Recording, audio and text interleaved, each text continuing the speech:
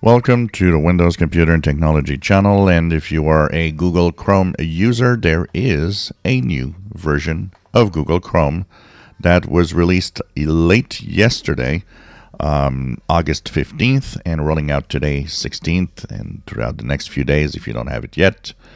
Uh, go onto the upper right corner, three horizontal, uh, three vertical dots, sorry, help, and about Google Chrome and you will be at 116.0.5845.96 or 97 or 98, depending on what version of the operating system you're using and so on. This is the new version 116, and it contains one big change that is going to be visible when websites ask you for permissions.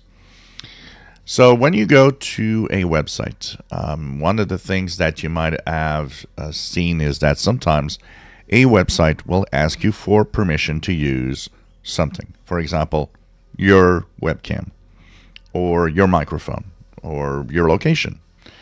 What it's going to do now is before you had allow or block, and it was the only two options.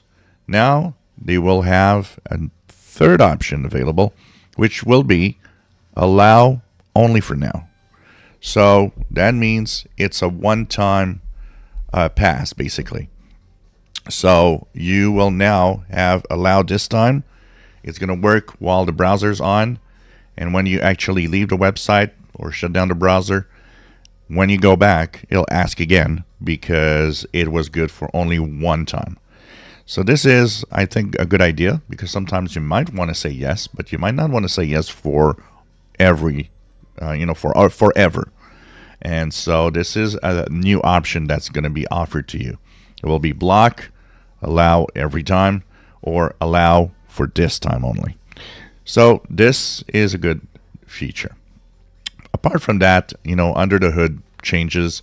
Uh, one of them is a better scroll scrolling experience uh, with one of the uh, options that they've actually tweaked. Uh, and of course, the continued rollout of the new cookie type sandbox feature that a lot of places and a lot of websites don't like.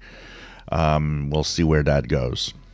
But even if you don't care about the new features, one very important thing about it is that it fixes 26 security flaws. So this is important to actually apply because 26 is big and there's a lot of them that are high severity. So it's very, very important to apply this. The other thing that's interesting, starting with today's new version 116, expect to have an update every week. My, the uh, Google team has said that there will be security updates every week starting from now. So this means every week we'll have our security updates to check out. And this is going to be starting with version 116. So once again, three vertical dots, help, about Google Chrome. Move on to version 116. Make sure you have the 26 security flaws fixed, at least for that.